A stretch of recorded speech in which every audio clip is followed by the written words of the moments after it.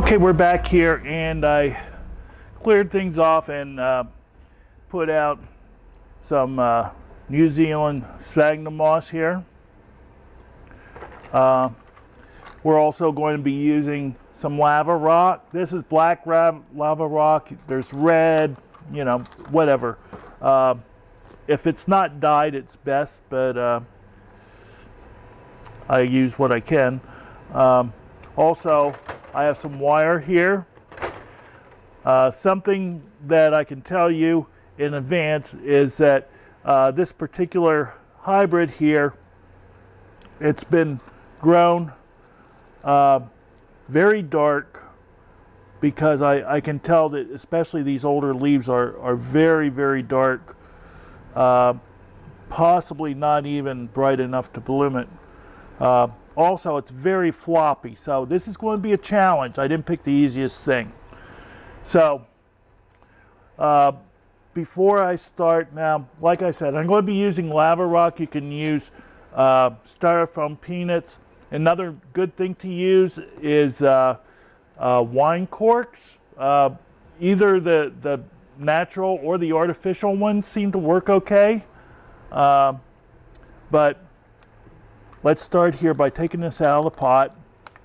And uh, it looks like we do have lots of good roots here.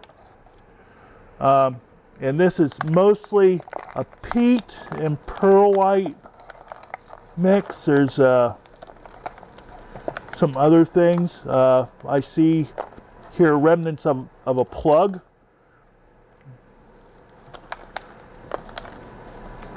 Okay.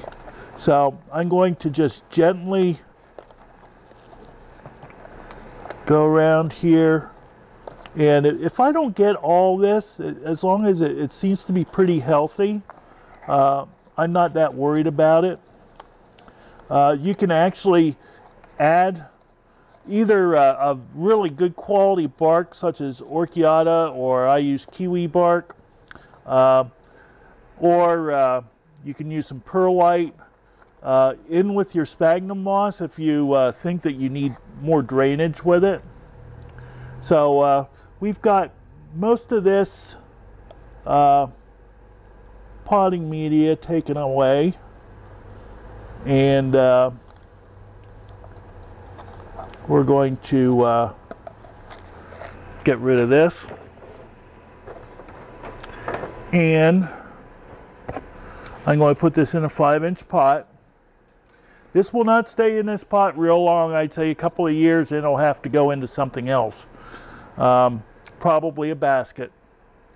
Um, bulbophyllums really do best if you're going to be keeping them, uh, you know, for yourself for a long time to invest in, in a nice wood basket uh, or something like that. Uh, they, they do very well in that.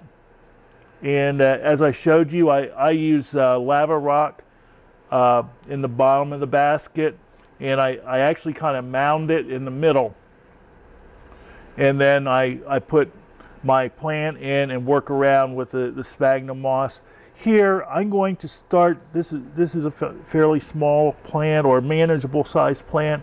I'm going to spread this apart here and we're going to start working upside down and then uh, go around. So I start by putting a bit of sphagnum moss there, right in the middle of, of the root ball. Now I'm going to uh, select some uh, pieces of lava rock, enough to cover the bottom.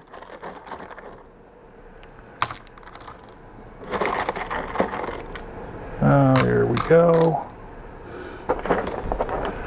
One more. Okay, so, uh, come on, get out of there. So, you can see there how things look. And uh, now we're ready for the plant. So, I'm going to uh, just kind of work around it here. And before I put it in, I'm going to end up with, it, with a ball of sphagnum here with the plant in it. And just, just work it around.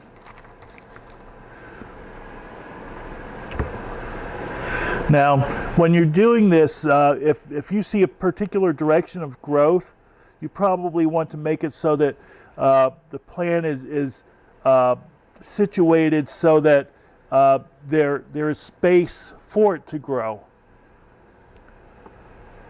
So we have this here, and, and I'm just going to sit it down in and work around it. And just try to work the sphagnum moss in. I make it fairly tight, but not as tight as I possibly can make it.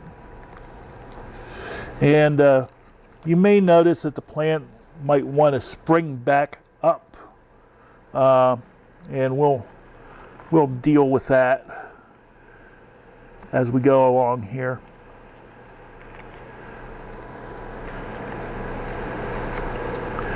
I, I try to be careful of the leaves because they can get broken very easily. So,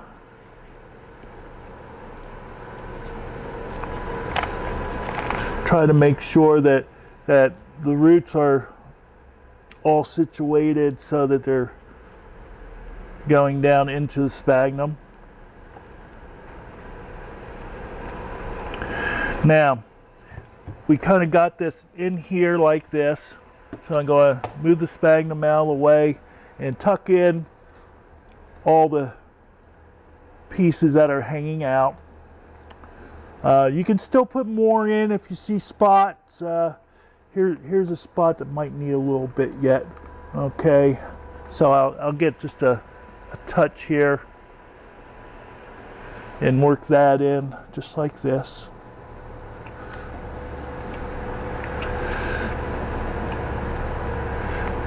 Okay, and you see this wants to come back up. Oh, there goes our fan again. Okay, okay, now, uh, so we kind of have this in here, tucked in as good as it'll get by itself. But I notice a couple places want to kind of come up.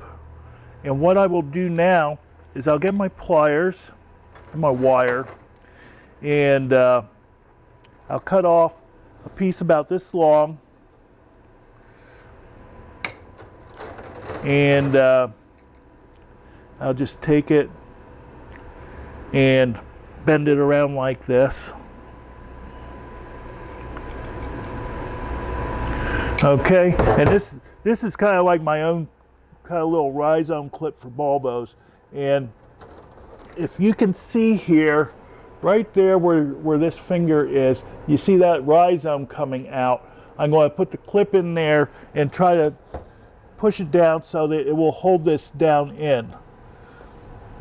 And uh, you just wiggle it back and forth a little bit. And there we go. So that, that's holding that, that in nice and tight. Uh, you can also, if you need, uh, take take a piece of wire and um, you know if, if you do have an upright piece of wire, bend it so that it doesn't present a hazard to your eye, and you can uh, use twist ties to to tie it on if you have uh, leaves that, that want to stand up. This is kind of a fairly floppy type of hybrid. It's I've had these before and it's just its nature. Uh, and that's the way some bulbophyllums are. As you see, this just kind of hangs down. It's That's going to be the way it is unless you want to go and take it and you, here we'll go and uh, make a little uh, support here and we'll prop that up. Um, oh, here I'll just cut another piece of wire. First straighten it out a little bit, just like this. Okay. And now cut it off, as I said. Put a little loop on the top so it's not a danger. And then try to figure out how you're going to have it. Eh, that isn't going to work very well. See if I can get it in there. Okay. And twist tie. One thing, if if we twist tie, use twist tie for this, uh, it will keep it from flopping around so much, which is a, a good thing. It can actually break off. So we'll use twist tie there, wrap it around a couple of times.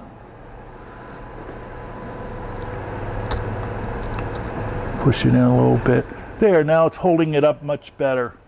I like that. Okay, so th this has about three or four leads on it, and it's got it's got new roots coming out here. It, it's a very nice plant. It's going to be uh, as as uh, a guy I really like, Bob Ross says, it's going to be a happy little plant. So, uh, and hopefully we'll get lots of flowers from it.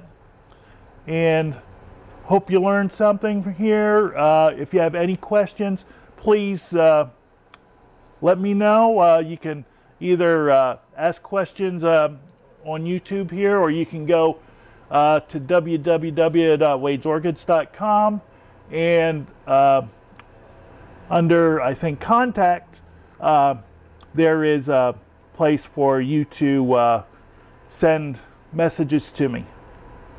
Okay, so this is Wade from Wade's Orchids. Hope you like this. Thanks for watching. We'll see you. Bye bye.